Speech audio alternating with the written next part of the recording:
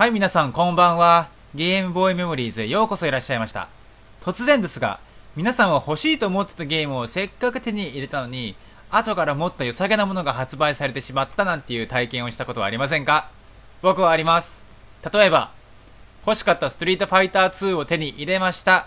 すると、後からストリートファイター2ターボなんていうものが発売になりました。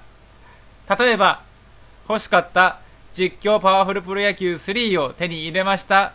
すると、後から実況パワフルプロ野球3春なんてものが発売になりました。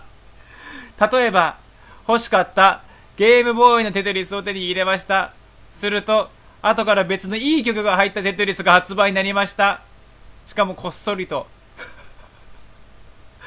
その話はもういいですね。はい。まあ、今回もそれに近いエピソードのあるソフトをご紹介したいと思っております。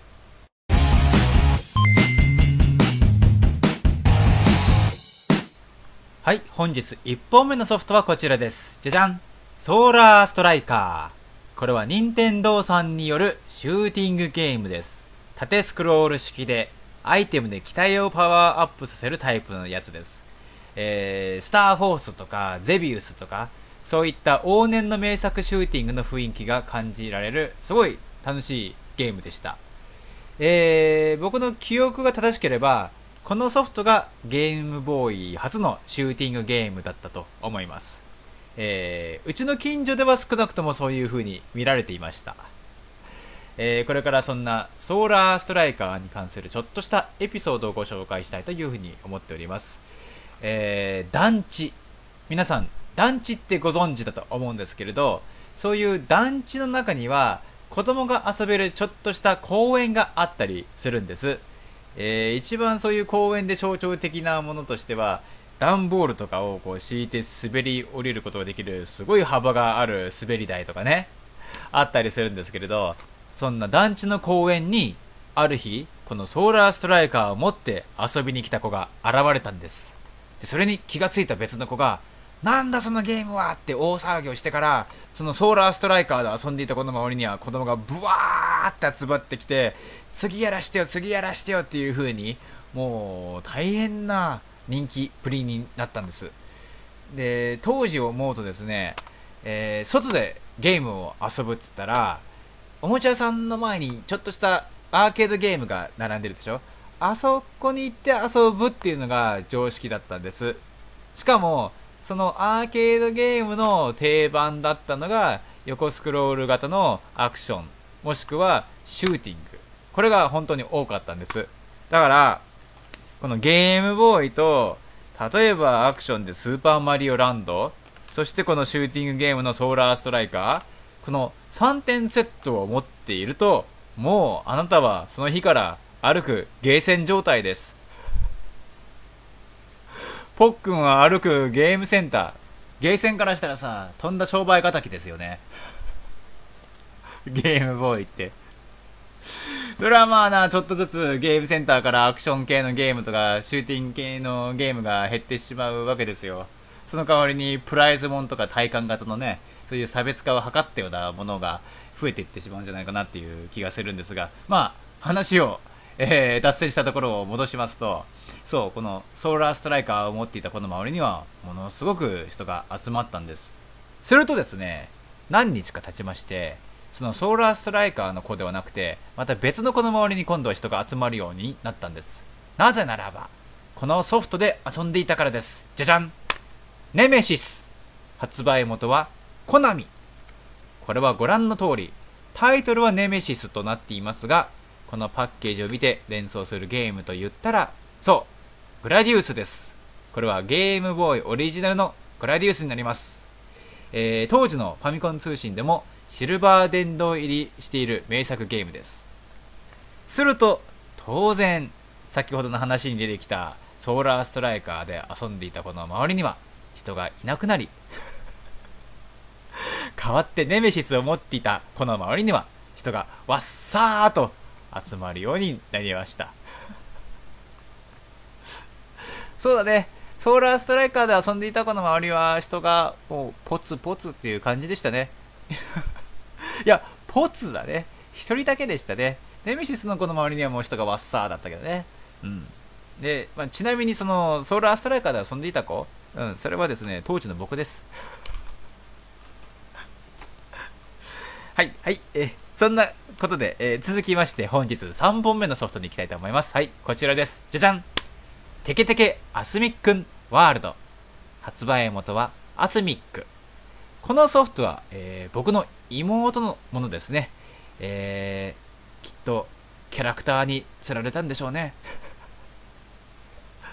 釣られたってあまりいい言葉じゃないかな。そうでね、あの、訂正します。えー、きっと、このキャラクターの可愛さに心が惹かれたんでしょう。フォローになってない？フォローしたつもりだよ。うん、あの、しょうがない。あの、妹のゲームだからね、僕実際そんなに内容を、あの、ちゃんと理解してなかったりとかするんですけど、ただ、あの妹が遊んでいるところを横目で見ていた限りでは、ゲームの内容としてはパズルゲームで、確かね、穴を掘る、鍵を探すとか、そういう内容だったと思うんです。そう敵がいっぱい出てくるから穴を掘って敵を倒すで鍵を探すとそんな感じのゲームで当時ですね同じぐらいのタイミングにゲームボーイで平安京エイリアンっていうゲームが発売になってたんですよ。あの穴を掘るっていう点では共通点があると思うんですけどそれとなんか似てるなっていうふうに当時の印象として持ってました。さらにですねアスミックっていうこのメーカーさんね今で言うとその映画制作の授業の方で有名だと思うんですよ。現在は名称がアスミックエースっていう風になってると思うんですが、だから、アスミックエースさんをご存知の方は、まさかまさかアスミックさんが昔、こういうゲームを作っていたっていうことを知らない方っていうのは多いではないでしょうか。この、あのー、アスミックンっていうロゴもね、時折登場しますけどね、そう、もともとはゲームのキャラクターだったよっていうね。はい、えー、そんなわけで今回ご紹介させていただいたソフトはこちらの3本です。ソーラーストライカー、ネメシス、そしてテケテケアスミックンワールド、えー、次回はこの3本の中で、えー、皆さんのコメントが一番多かったものを遊ばせていただきますのでここで皆さんコメントのご協力をお願いいたします。まずはこちら。はい。ソーラーストライカー。次回このソフトをご覧になりたいっていう方はここでポツポツとコメントをお願いいたします。もしくはこちら。はい。ネメシス。このソフトを次回ご覧になりたいっていう方は、ここで、わっさーとコメントをお願いいたします。あるいはこちら、はい。テケテケアスミックンワールド。このソフトを次回ご覧になりたいっていう方は、ここで、テケテケとコメントをお願いいたします。テケテケってなんか、地獄先生ヌーベイにも出てきたよね。おっかないやつ。はい、そんなわけで本日のゲームボーイメモリーズ以上でお開きとなります。最後までご視聴本当にありがとうございました。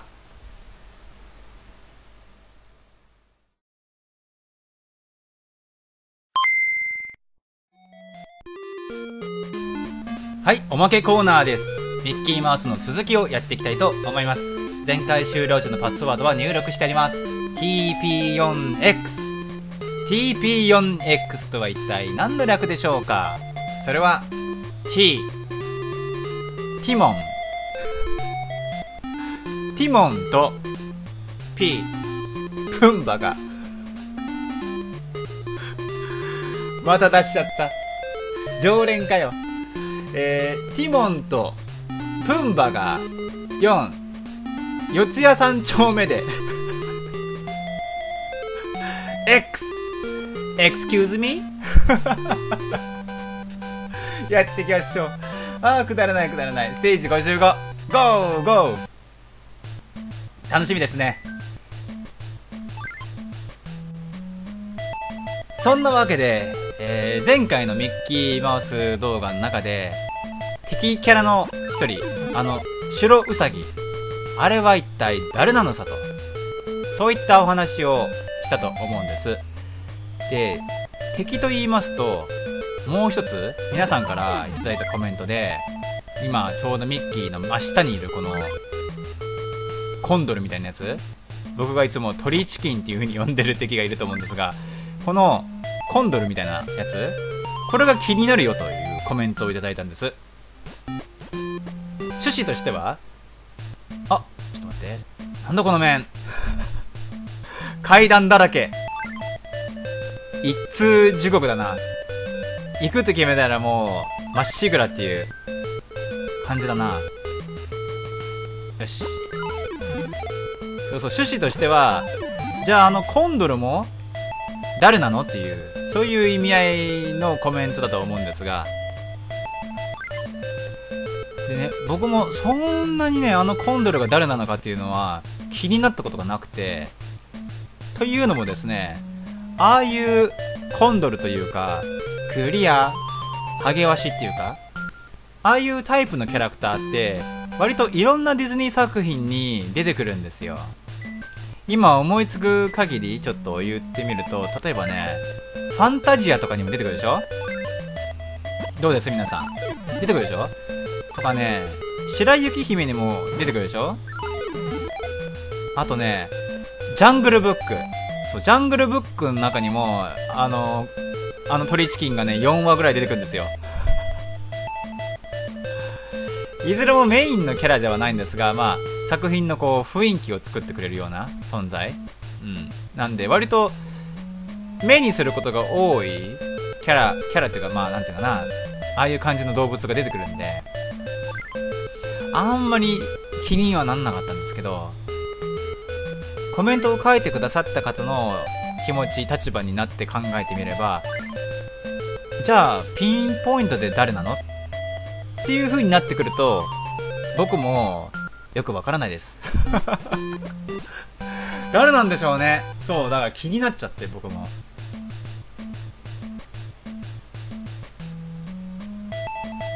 今あのたくさん名前を出しましたけど作品名とそのコンドルが何あのどういう感じで出てくるかってね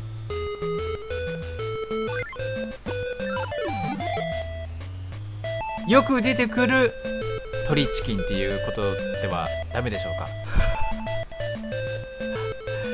もう鳥チキンでよくない？ダメ？それかあのミッキーのクリスマスキャロルの中であのミッキーに食われたターキーっていうことで。焼かれる前の七面鳥。じゃあダメでしょうか。ねえー、答えを決めるのはやっぱこのコンドルが気になるというふうに書いてくださった視聴者の方にあの委ねますので。えー、そういうコメントが非常に僕の中では気になってたっていうのがありますしもう一つ気になるコメントがありましてそれは前回の動画ではないんですが過去ちょっと遡った感じの、えー、ものになるんですけれど僕があの毒入りミッキーアイスっていう風に茶化してる武器があるでしょ？あのアイスクリームね。あれに関するコメントだったんですけれどあのミッキーアイス？あれってアイスじゃなくてバケツじゃねっていう。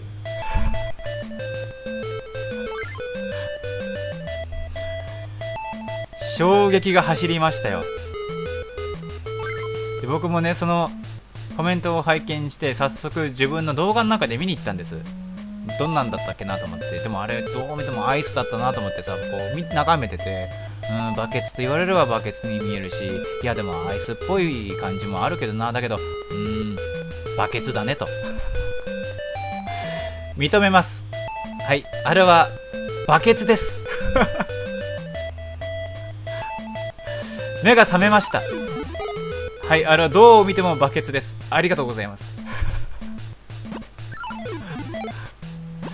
なんでそのコメントをいただいてからもうアイスには見えなくなっちゃった。目が覚めちゃったもんだから。25年ぶりに。叩き起こしてくれてどうもありがとう。いやー本当に衝撃が走りました。あの上の狼こいつやらしいですね配置が。下にグローブがあったんでグローブは便利だけどあいつのために取っとくしかないのか。そのバケツのコメントの件に関して、まあ、バケツのコメントというかバケツの件に関して僕はねもうちょっと掘り下げていきたいと。そっちに行くか。そっち行っちゃうか。もうちょっと掘り下げたいなというふうに思っておりましてね。どういうことか。以前動画の中でこのミッキーマウスっていうゲームボーイのこのゲームはファミコンのロジャーラビットのリメイクだよっていうお話をさせてもらったと思うんです。だから例えば今あの金庫だったりなんだかんだってこの辺の武器もねロジャーラビットの映画の中に出てくるものが多いんですけれどあのバケツはどうなのっていうとあのバケツもロジャーラビットの中に出てくるんですよ。じゃあどういうどういうものなのかと。おそらくですねあのバケツの中にはある液体が入ってるんです。その液体っていうのが通称ディップという DIP ディップという液体になるんですけどディップっていうのはどんな液体なの？っていうとですねいわゆるカートゥーンアメリカのアニメキャラね。ああいうカートゥーンっていうのは例えば上からピアノが落ちてきたりとか銃で撃たれたりとかしても死なないでしょ基本的に。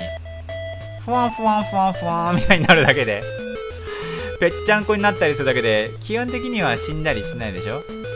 だけれどそんな不死身という風に思われてるカートゥーンを殺す方法をそのロジャーラビットの中で開発発明してしまうんですよ。それがディップです。ディップをかけられたカートゥーンは死んでしまいます。つまりこのミッキーマウスのゲームの中でディップが入ったあのバケツで倒された敵はもうおさらばなんです。わー。もう死んで生き返れないんです。僕はね毒入りミッキーアイスでも十分物騒だなっていうふうに思ったんですよ。だけどディップの方が何倍も物騒でしょ？やばいでしょディップは。ディップはね良くないよ。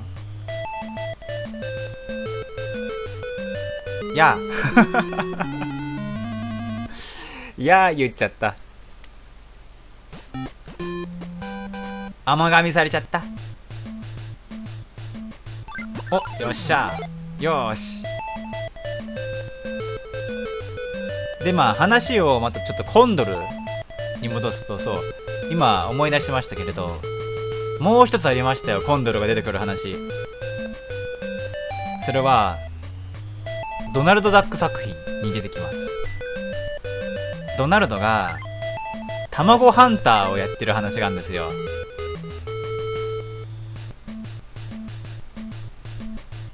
おっきい鳥の巣を見つけてねそこにおっきい卵があるんですよ。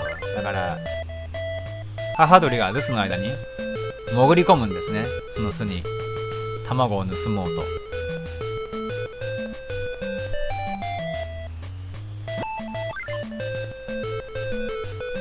するとですねそこには小鳥がいてなんとか卵が盗まれないように抵抗するんですがやっぱドナルドには勝てないと。ああ卵が盗まれると思った。その瞬間母鳥が帰ってくるんですよ。やったママそいつやっつけてよと言うんですが皆さんお気づきでしょうか？ドナルドも実は鳥なんです。なのでドナルドを見つけた母鳥は卵泥棒というふうに思うどころか自分の生まれてきたばかりの子供だというふうに勘違いしてしまって 愛情を注いでしまうんですね。そうなっちゃうとその本当の子供である小鳥がもう嫉妬に狂っちゃって。違うんだよママ。そいつは泥棒なんだよと。そんなね面白いお話がありましたね。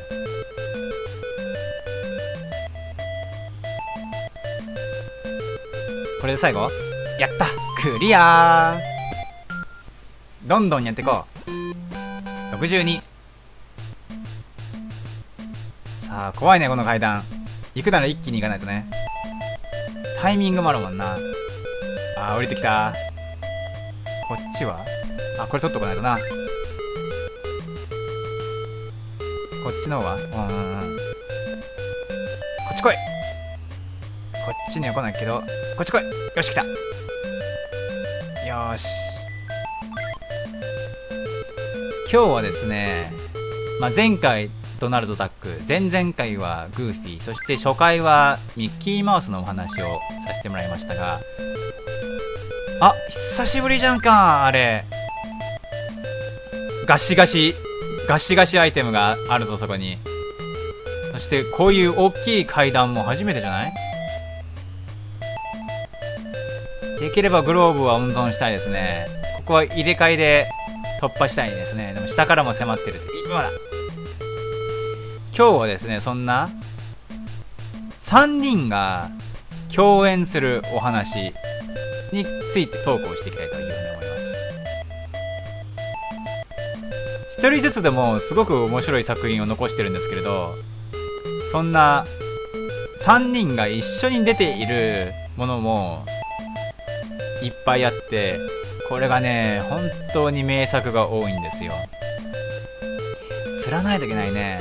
あの液体がすごい中途半端な位置にあるから1匹ずつ下へ下へこう釣らないといけないのかな。1匹目これで釣った。2匹目は今その辺で泳いでる。釣れるか？釣れる。釣れるか？でもここにこんなにいんだもんね。この辺から落ちてくんないかな。落ちる。ミキも落ちる。お前も落ちる。みんな落ちる。ごめんね受験生のみんな。今のとこミュートね。はい。はい落ちろ。あグローブあるからいっか。ここはグローブ使っちゃおう。なんでうーん上に上がった瞬間来そうな気がするけど。いけるか？よし。グローブ。よし。よし。そのミッキー、ドナルド、グーフィーが共演してるお話ってね、本当に面白いのが多いんですよ。クリアー。特にね、僕がね、大好きなのが、ミッキーの移動式住宅のお話。これはね、もうね、何万回見ても飽きない。本当に大好き。そのお話の影響で例えば旅行をするとかっていう風になったら僕は車移動が一番やっぱ好きですね美味しいものをいっぱい車に詰め込んでで長旅をするっていうのがねやっぱ好きですね。それはそういうのはねそのミッキーの移動式住宅を見た影響です。それ以外にも例えばトウモロコシを食ったりするときはやっぱりああいう風に食いますね。これはねあのー、見たことがある人には伝わってると思う。トウモロコシ食うときはああいう風に食うよね。うん。大好き。まあそんな移動式住宅以外にもね本当に面白い作品がいっぱいあって例えばねミッキー、グーフィー、ドナルドが、お化け退治のお仕事をしているお話ね。ですとか、あと、ミッキーの、あの、バンドコンサートっていう、それも面白いよね。クリア。今挙げたお化け退治とバンドコンサートなんかはかなり有名なんで、どっちか1本見ておくとですね、いけるかこれ。罠だったな。ピートが後ろからタックルに来てね。だから鳥チキンはなんとかなるかもしれないけどピートがあピートいっちゃった？あなるほどね。本当はそこに随分トリッキーだね。鳥よし。で大体10秒ぐらいしかあれ持たないでしょ？いっちゃうか。行こう。123456788いけるかこれで。あやった。やった。あとはもう取るだけ。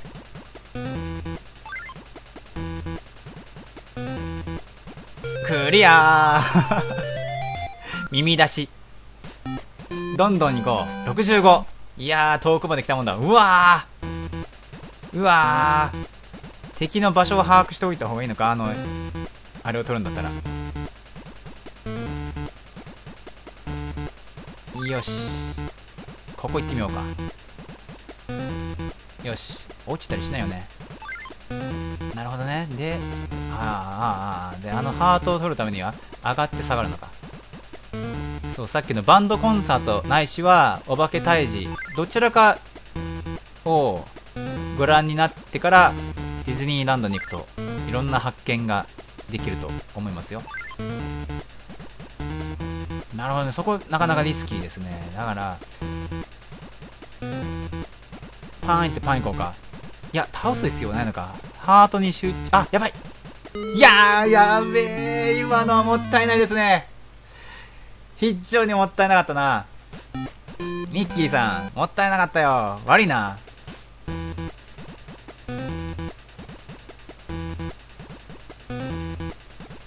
うわ。ひや？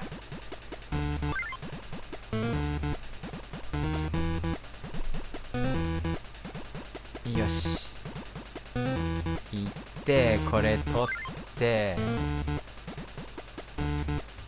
待ち構えてんのかそこで。間に合う？間に合ってくれ悟空。よし。で上行こう。でここ降りよう。あそこのブロックあんの？やらしいね。じゃあこっち行こうか。ヒューン。ヒューン。で下行く下行え？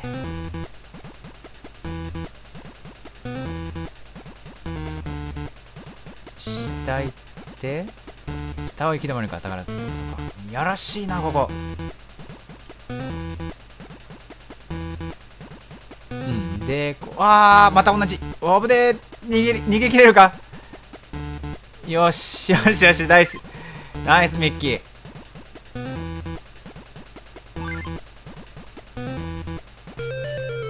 クリア。66復帰2さーて。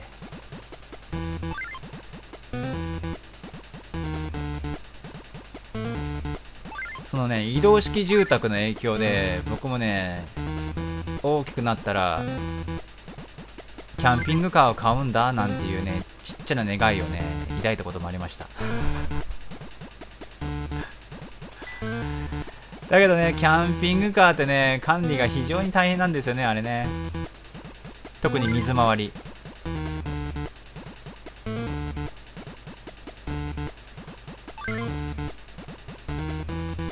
さあ厳しいね。鳥チキンのことを考えると長い土管よりかは短い土管の方が小回りが効くんだけれどかといって難しいなあのインクの使い方を失敗したようですね。上上がっていっちゃおう。来るなよ。ひゃうわあなんという連携プレイ。やるな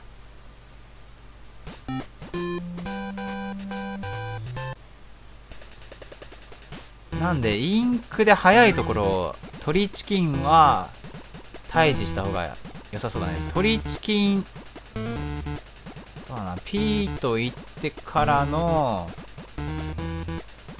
ピーと言ってからの鳥チキンか。それでいこう。いきます。間に合うか。123ししくった。しくった。しくった。しくったぜ。もうピートは自力で行くしかないあれ最後に回しとこう。ここか。ここここか。あー。くそー。なかなかだな。さすが66不吉な数字。いっちゃうか。ああ晴れなかった。上を押したはずが右に行っちゃった。たまにずれます。でもそれも味です。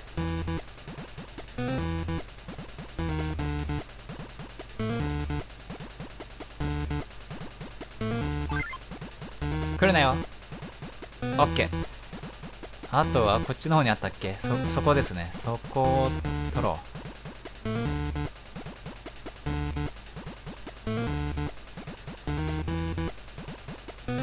よし。あのピートのところは最後に回そう。あとここで上に狼が来なければ。いける。よしよしよしよしよし。いいぞ。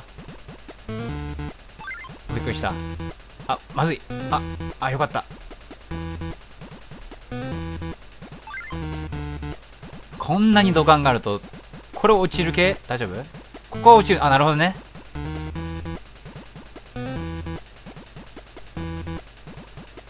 まっすぐ行ってここ降りてここ上がった時にあの狼と鉢合わせになんなきゃいいんだけどなるね。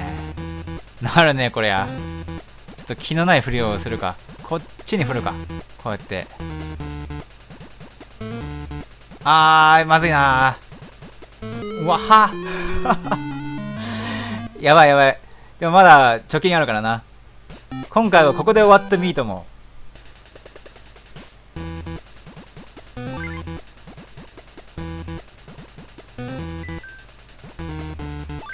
透明なる。ここ入る。鳥チキン倒す。上行く。ピート倒せたら倒しちゃいたい。間に合いますか。ああ入れなかった。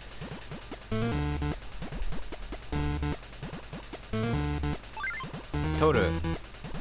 これも取る。入る。真横行く。うさぎ狙い。よし。なんで久しぶりに 指つま先立ち状態です。